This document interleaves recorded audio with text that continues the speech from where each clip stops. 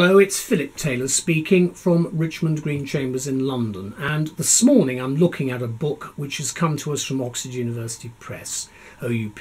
It's a first class book on com- um, comparative law. It's been written by Professor Uwe uh, Kischel and it's been translated from the German by Andrew Hammel. Let's have a look at the book first of all. There it is. It's a very heavy book. That's the front, there's the spine and then there's the back. And what you've got inside is a little bit of blurb about other OUP books. These are handbooks, a handbook of comparative law and so forth. Then at the front you've got a little bit about um, Professor Kischel, who uh, I will tell you about in a few minutes. And when we look at the book, the book itself is a heavy book, as I say, and it runs to something approaching uh, just under a thousand pages. The index at the back, although as I say it's a heavy book, the index at the back is by page numbering and it's quite a detailed index. It's quite useful to have it. Um, obviously it's useful to see the structure.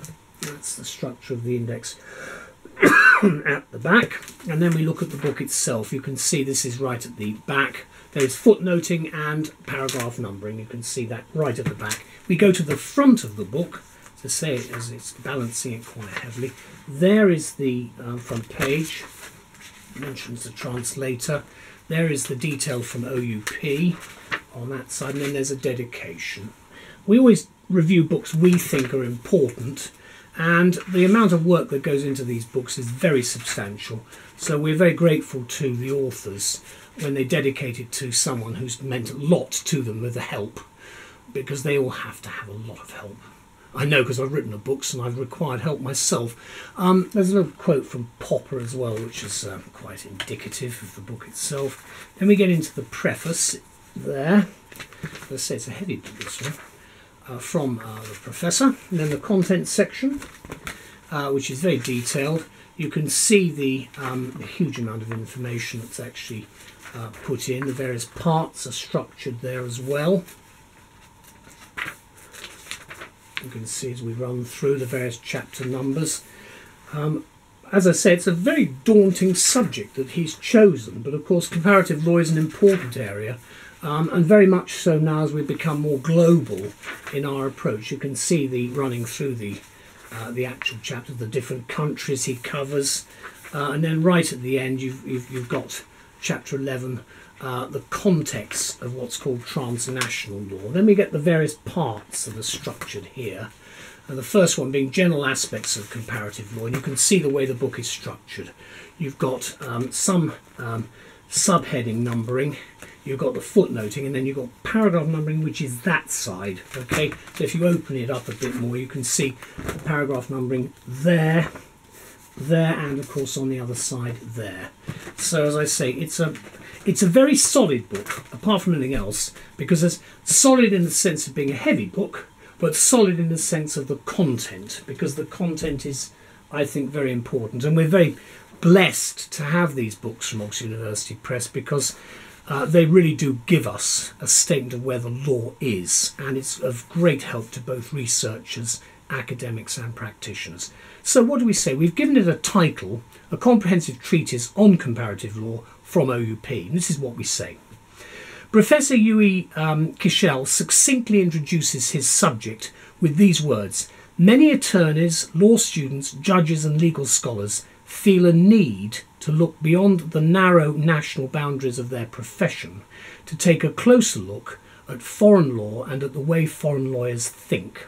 And how right he is, that's exactly what this book is about. Comparative law studies have been of increasing interest, we think, recently, with this change in global issues underpinning so much of what we do today. And there may be people who don't like it, but the fact is that's what is happening in the 21st century.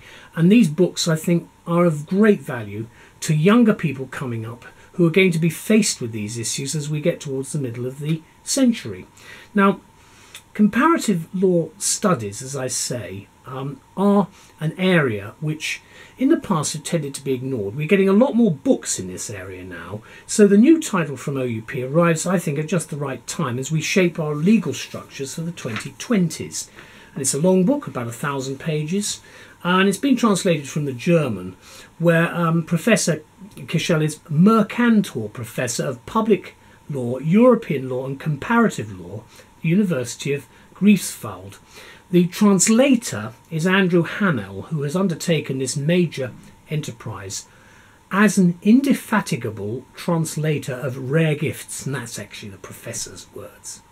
Without doubt, Uwe's work is rightly described as by OUP as a comprehensive treatise on comparative law, offering a critical introduction to the central tenets of comparative legal scholarship, and that's what you're getting.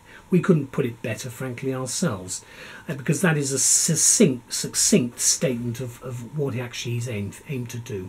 The book's divided into different parts. First one covers general aspects of comparative law, uh, controversial question, uh, controversial question of methods is addressed in detail with an explanation and discussion of different approaches that have been taken and by the development of a contextual approach which investigates and engages in real world issues and offers a useful practitioner's angle on contemporary uh, comparative legal scholarship. And the second part of the book, the reader then is given a detailed treatment of the major legal contexts across the globe, and it reviews what you will probably be looking for, including the common law and civil law systems uh, coming from Germany and France, as well as case studies of Eastern Europe, Scandinavia, and Latin America, in addition to some of the other systems. So it really does cover a, a wide range. We still obviously have the greatest system in the world here in England, which is the common law, and that has been given to very many jurisdictions.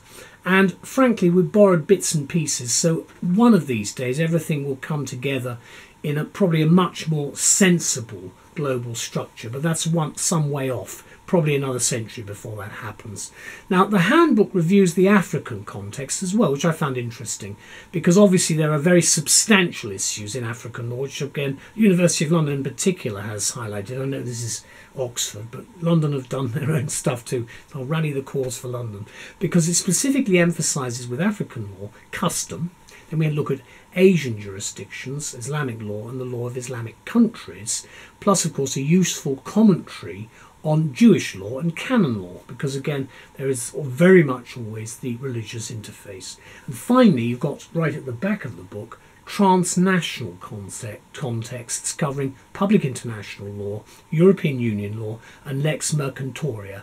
Again, very important because obviously the basis of an awful lot of our law comes from custom and merchants selling things. If you go back um, actually centuries and millennia, you'll see, you know, where, where actually it all sort of came from.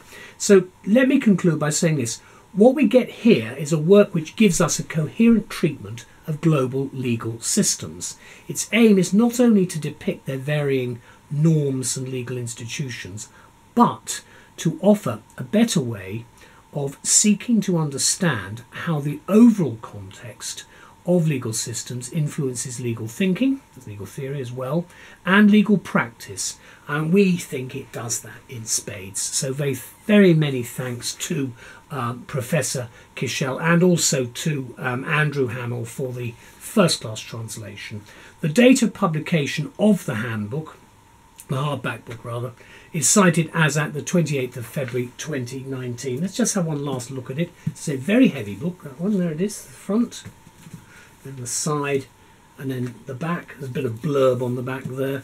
And then right in the middle, I'm just opening it up in the middle. Courts and um, jurists. And this is the basic context of civil law. So when it's comparative law, this is civil law.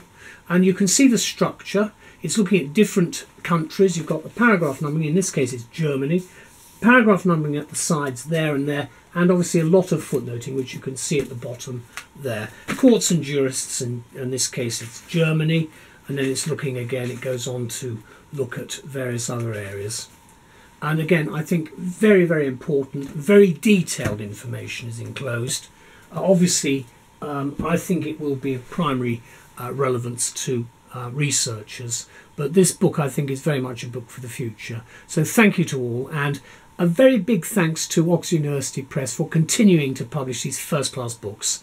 You make our lives a lot easier by doing so, and uh, we're very thankful to you for, for taking this uh, these onerous duties on. Thanks a lot. Bye bye.